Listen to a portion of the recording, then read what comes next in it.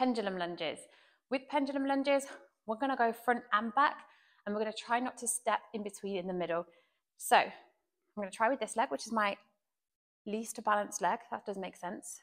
Anyway, so we're gonna step forwards into a lunge, push all the way back into that back lunge, all the way forwards, all the way back.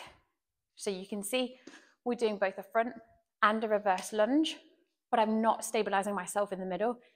So I've really got to keep balance across the move.